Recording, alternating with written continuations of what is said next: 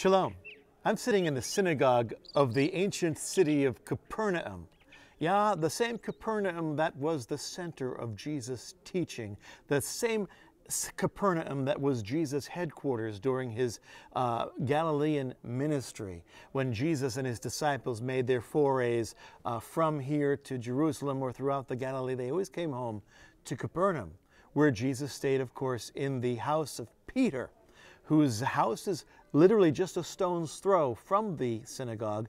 The proximity of Peter's house indicates that he must have indeed been doing pretty well with his family business as a fisherman, uh, because the house is this close to the synagogue. They didn't come cheap.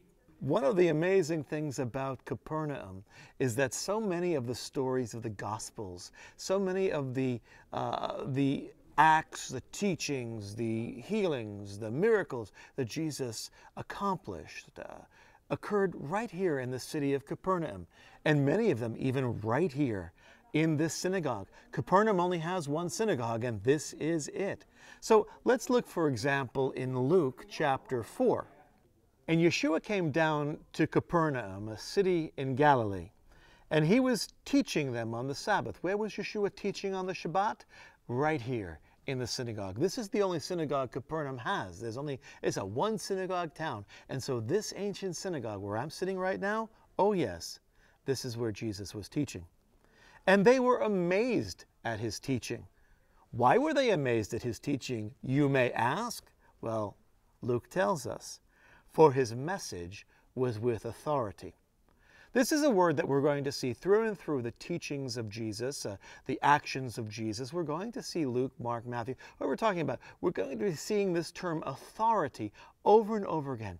Jesus' teaching was uniquely with authority, a level of authority that was intrinsic to himself. His actions were with incredible authority. He was able to heal, to cast out demons, to still the waters by a word. What authority indeed. And the gospel authors are always uh, uh, quick to emphasize that specific attribute about Yeshua. And so his message was with authority.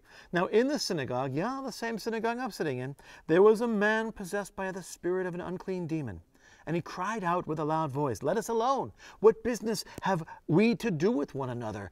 Jesus of Nazareth, have you come to destroy us? I know who you are, the Holy One of God. Jesus rebuked him, saying, Be quiet and come out of him. And when the demon had thrown him down in the midst of the people, he came out of him without doing him any harm. And amazement came upon the crowd. And they all began talking with one another, saying, What is this message? For with authority, there's that word again, and power he commands the unclean spirits, and they come out. See, who has authority to teach the way Jesus taught? Who has the authority to cast out unclean spirits so cleanly, so abruptly, with just a word of his command? And the report about him was spreading into every locality in the surrounding district. There's another account that Luke gives us just a few chapters later in Luke 7 that also deals with authority. Authority is a theme that comes up over and over again, and this one actually has to do with someone else recognizing Jesus' authority, who has authority himself, and it also, uh, the, the synagogue that we're in, plays a major role in the story. In chapter 7, when he had completed all his discourse, his teaching in the hearing of the people, Jesus went to Capernaum, and a centurion's slave who was highly regarded by him was sick and about to die. And when he heard about Jesus, he sent some Jewish elders asking him to come out and save the life of his slave. And when they came to Jesus, they earnestly implored him, saying, He is worthy for you to grant this to him, for he loves our nation, he loves the Jewish people, he loves Israel. And it was he who built us this synagogue. It was the centurion who underwrote the building of the synagogue, the centurion who funded this synagogue. That's a lot of love, let me tell you. Synagogues like this, they didn't come cheaply. Now, Jesus started on his way with them, and when he was not far from the house, the centurion sent friends, saying to him, Lord, Do not trouble yourself any further, for I am not worthy of you to come under my roof. For this reason I did not even consider myself worthy to come to you. But just say the word, and my servant will be healed. For I also am a man placed under what? Authority, with soldiers under me. And I say to this one, Go, and he goes, and to another, Come, and he comes, and to my slave, Do this, and he does it. Now, when Jesus heard this, he marveled at him and turned to the crowd that was following him.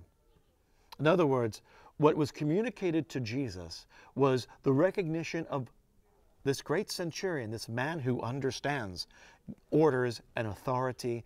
The centurion recognizes that the authority of Yeshua was such that he didn't even have to show up. All he needed to do was speak the word, and the command would be followed. The slave would be healed. And Jesus says to those who were following him, I say to you, not even in Israel have I found such great faith.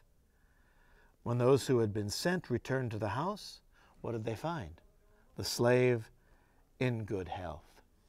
Because Jesus, over and over again within the gospel accounts, is uh, presented as having a unique authority. Why does he have such unique authority? Because he's the Messiah. What is the intrinsic power, the intrinsic authority within him? Well, he is, after all, the Son of God.